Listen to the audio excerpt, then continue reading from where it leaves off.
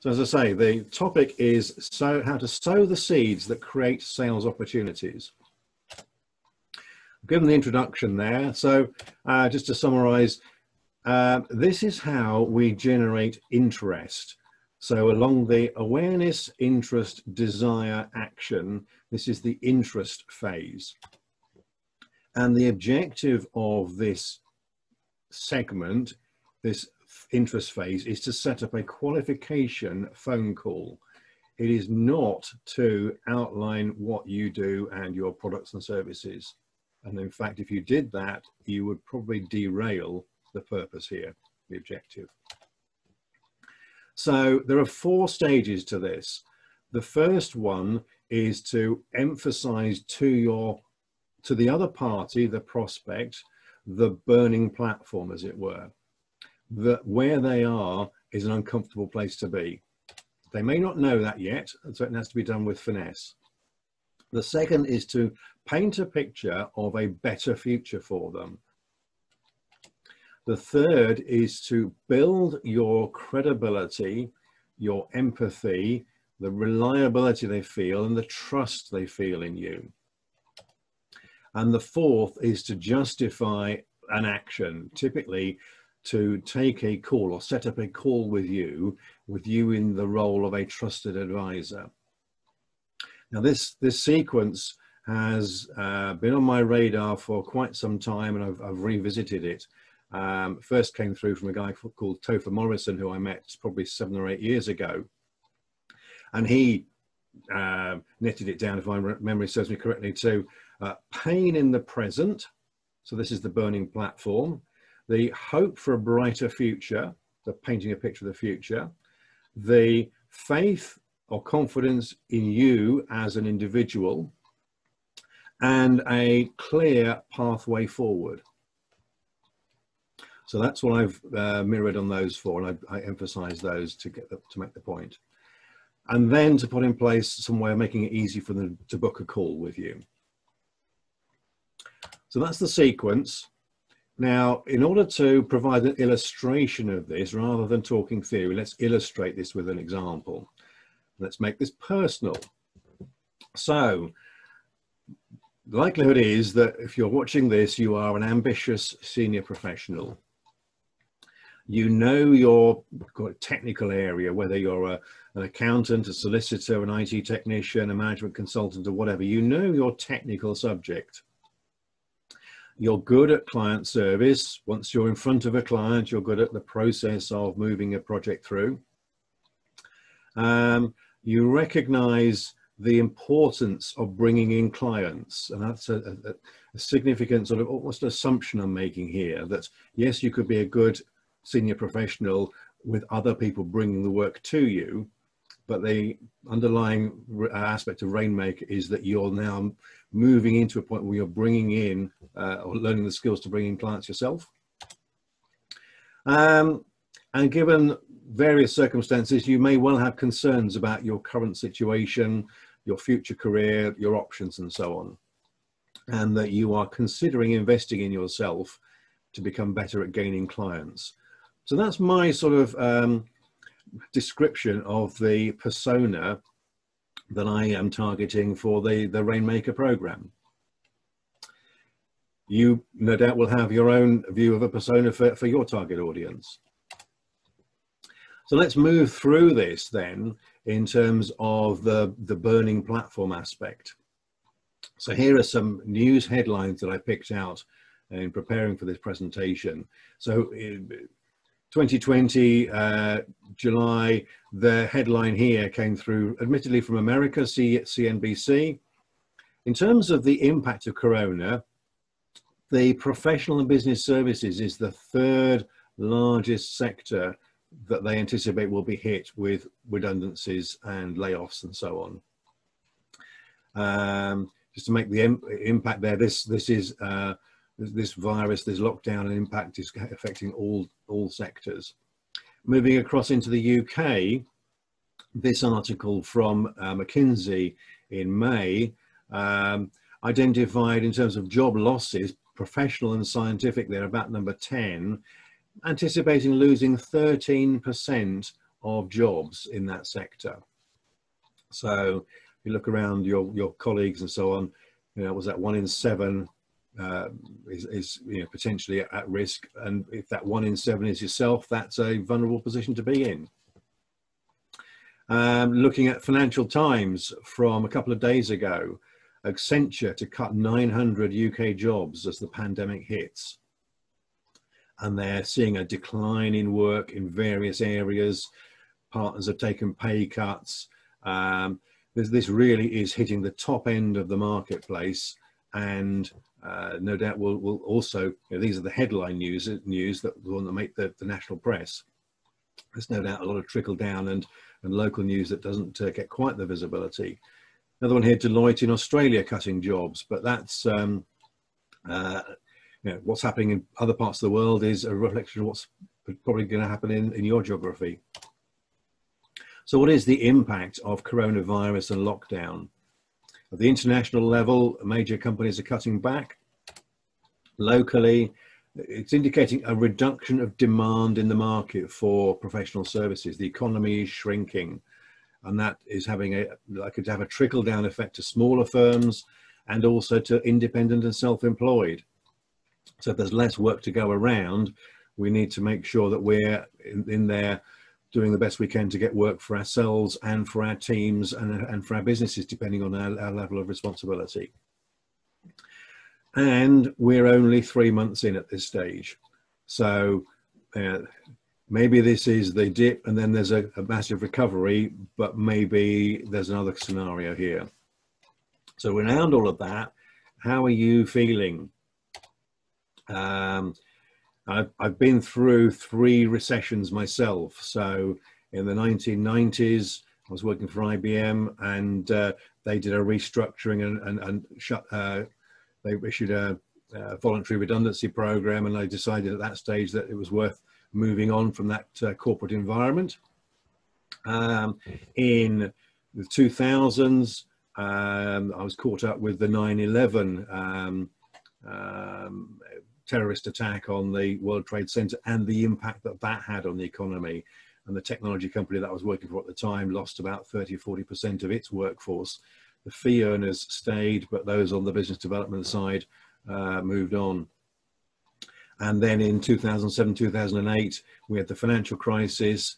And again, I was in a, a situation where the company I was working for downsized considerably um, around that. So there is i've been through that sense of feeling a bit like a rabbit in the headlights you know you know things are happening you're focusing on the day job but uh, you know unable to see because of these headlights what's going on around you. And sometimes it's useful to just look around and see. So what are the response options? What can we do? Uh, we can uh, wait for the rebound. We can wait for clients to emerge and inquiries to come through we can wait for other people in the business to bring new clients in. But that means we've not really got a huge amount of control over our own destiny. The next is to say, okay, we could, you know, rather desperately chase around for what's in the public domain. You know, if unfortunately we're made redundant, then chasing around for jobs that exist in the marketplace that everybody else is chasing for if we're still in work, then we need to get more business in. Then we maybe chasing around any anything that's that's uh, out there where people are looking for new suppliers. And unfortunately, there's a there's a race to the bottom on price in a lot of those cases. The next is to create opportunities by identifying unmet needs and wants with people that we uh, know, like, and trust, and who know, like, and trust us. Um, and also, we can be using our knowledge to take fresh ideas and opportunities to people who trust us and that really is getting into this, this rainmaker territory where we have an opportunity potentially to take control. Um, so looking out for what's our income going to be over the next, uh, you know, short term and also maybe over the next 20 or more years. What is our job security? Are we dependent upon having the one job or can we create a situation where we have other options? And how are we going to support our family, our nearest and dearest, these sort of concerns that come through, and also then an impact around the relation between job, employment, and mental and physical health ties in there as well. So I don't know if any of you have touched uh, experienced any of those, I've, I've certainly had that uh, that feeling of you know, concern over income in the short term and and uh, longer term over those three uh, recession periods particularly. And what I've done is to develop uh, a way that gives me that income security that allows me to support my family and allows me to ride out some of the mental and the physical issues that uh, I've also experienced. So a question then is what steps could you take? And that's really where I'm positioning some options for you. So the first of which is to look at repositioning yourself, moving beyond the straight CV of what have you historically done, but look long and hard at what you'd like to do in the future and make sure that that's aligned with your personal strengths, your characteristics, your ambition, and so on. Get clarity around your strengths. What is your value? Who are your ideal clients and their pain? Particularly if you're running your own business, understanding who your ideal clients are and their pain is really key at this stage. And then be able to communicate that clearly and succinctly. And I suggest that starting with your LinkedIn profile is an ideal place for that. So it's a good, um, very visible platform um, message in the in the B2B marketplace. So there's people like uh, Dr. Janet Rose, who um, has been through that process there, and I helped her to clarify her position for herself and her business in the in the teaching and um, teaching area, and uh, you know, that's given her a much stronger position to move forward with. The second area, beyond the repositioning, is to really understand how to use the LinkedIn platform. So whether you're um, whether it's something that you uh, use very passively, you've just got a profile, but in the not just in the jobs market, but in the, the self promotion, the personal branding, the raising awareness, the the building a network, getting in touch with people, who people who you already know, develop the online liking and trusting side of things as well. So how would you do that? You, you, um, you gain skills on how to use LinkedIn better. And particularly in this context, use that as a way of starting conversations with people this isn't necessarily, have I got a job? You know, have you got a job for me, or have you got a, a work some work for me? Be more subtle than that, finesse it, and just network around. How can you help other people? What can you offer to other people? Um, do the research to see what other people need, ask the questions, and follow up. So, offering help, offering service, asking some key questions, those are good ways to, to move forward. So with one of the clients I worked with a few months ago, we went through exactly the same process, sharpened up his LinkedIn profile, did some training and, work around what his conversations were going to be. And uh, he's, he's enjoying the results of that already. And the, the next level up um, is how to move into that area where you can really start to create opportunities. You're sowing the seeds and moving those through. So, yeah, looking around your professional circle, are there people there who you admire who have the ability to bring in new new clients? People in the firm you're working with, people you've worked with in the past. You know, what is it? What was it about them that they uh, that they were able to uh, apply um, that brought people into the you know, clients into the business?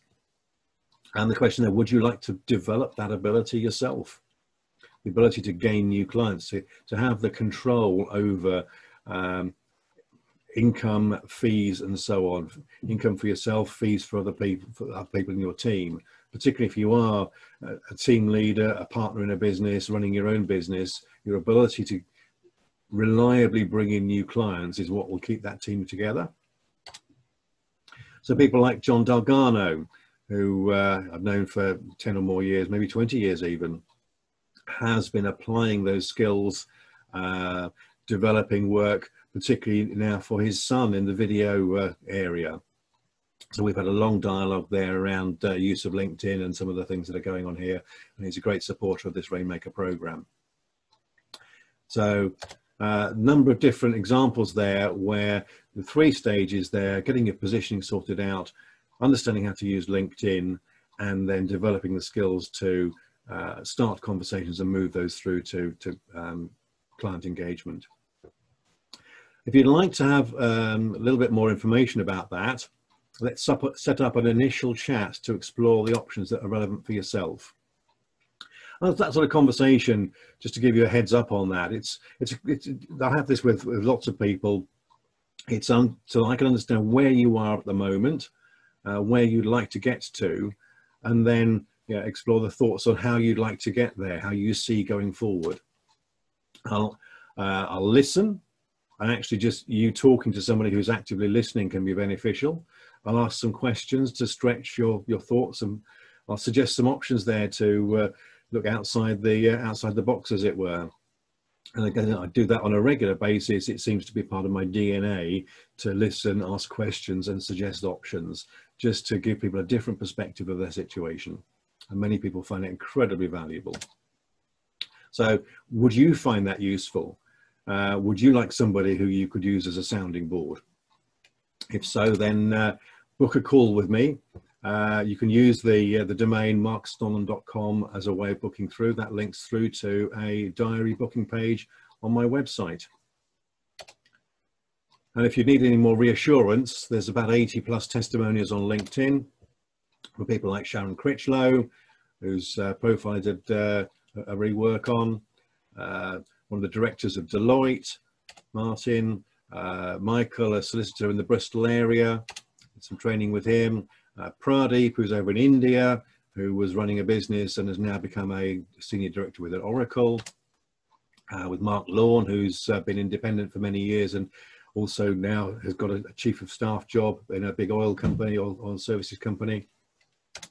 And on the company side, an example there of David Eldridge, who uh, I've worked with over many years on his, um, with him and his team.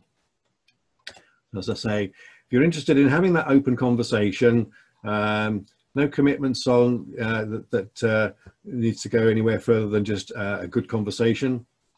And that is, in this context, a qualification call. Do you feel that I could bring, bring value to you? And do I feel that you would be a, somebody who I could bring value to. So that's a two-way sort of 20-minute uh, conversation. So look at the uh, markstonham.com and book a call with me if you think that would be useful. Uh, thank you very much indeed for your time. And this program is around developing rainmakers, helping ambitious senior professionals to win more clients and grow their firm or their business. Thank you.